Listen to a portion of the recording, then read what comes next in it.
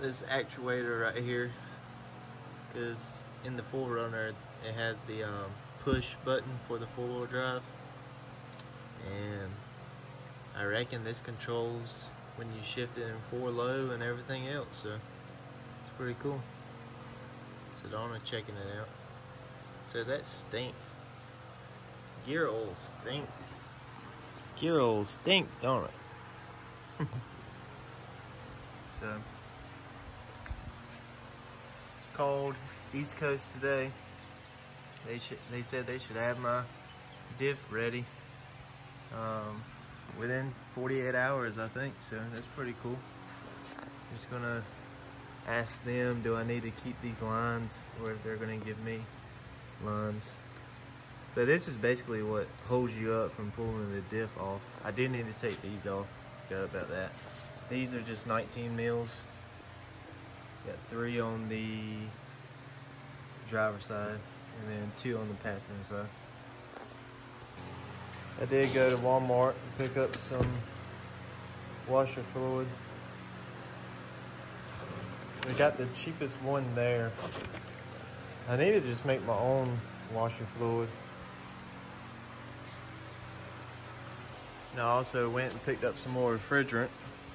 These are $8 a can compared to Harbor Freight's like $12 a can. So save four bucks on these and I've done blown like $50 on refrigerant.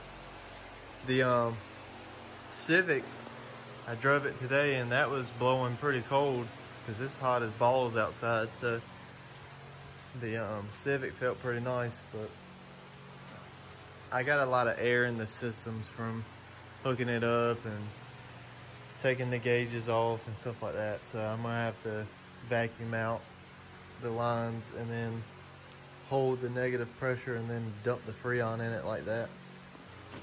And this is the Mobil 1 M1 104A for the D16 motors in the Hondas because I gotta do an oil change on the Civic because the oil's getting pretty dirty.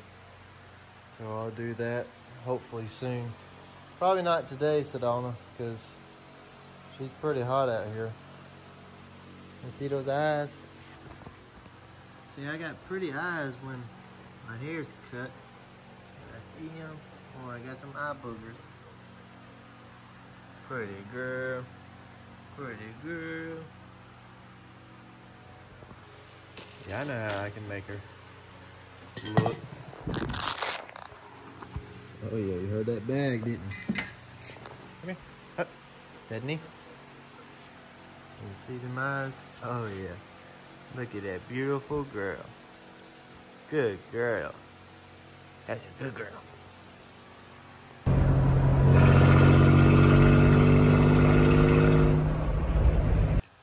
Alright boys, I found out more problems with the AC on the Tacoma and the Civic. Civic just had a bad relay, but I started messing with the um, high and low side lines. So I just messed up the whole cycle in it. So I've got to put a vacuum on it and then redo the refrigerant. The Tacoma, um, I noticed that Freon is coming out of the compressor. So something's leaking out of the compressor probably just an o-ring or whatever so i'm to look into either replacing the o-rings or i'll probably just go ahead and get a new ac compressor in the tacoma. But the thing is is that i don't want anything but probably denso and they're about 20 bucks depending on not 20 bucks 200 bucks depending on which one you get.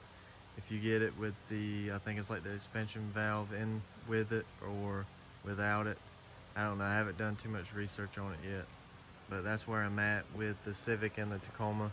And the 4Runners in the back, waiting on its built um, differential in the front.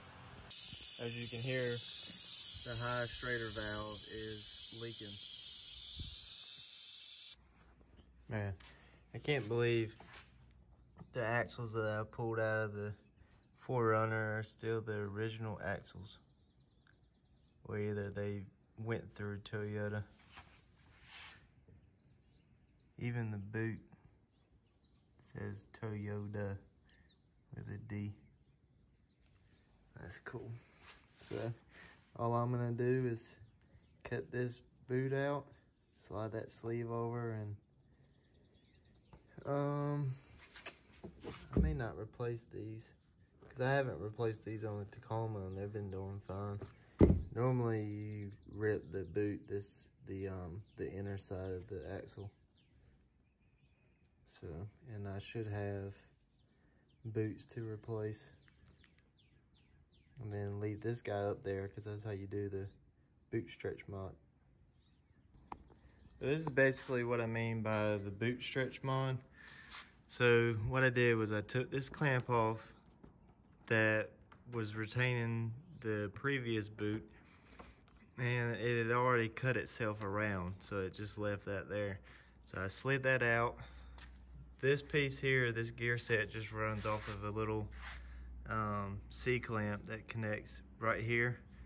So you know you get you some pliers for that pop it off and you slide this gear set out slide that out and then slide the boot over and run it all the way and then what I do is I put this back in here and then I take a zip tie.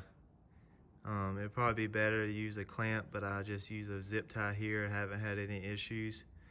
And then run this back up and you gotta pack this full of grease.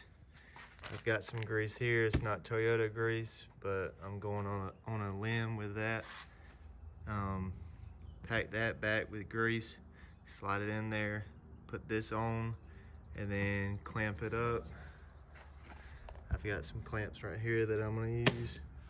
And then that's basically it. All right, so here's a little setup difference. This is the CV axle that I just replaced the boot with. And then this is the CV axle that needs replacement. So I don't know if you can tell, but this line right here is right here with this.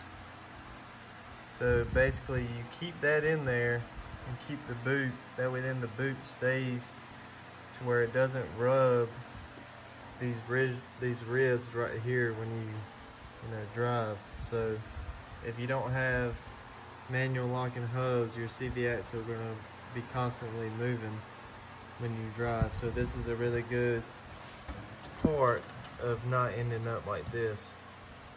So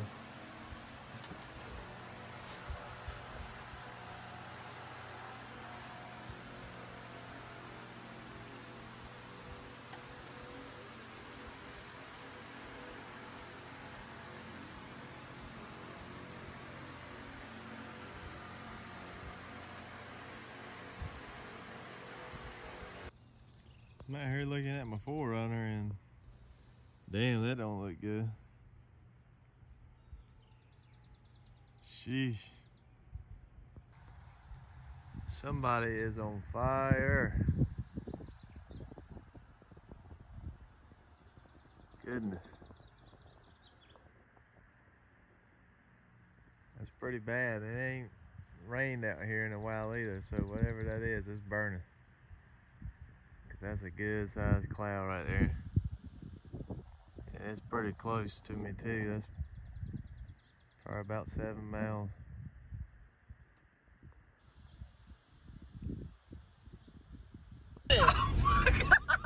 My bad.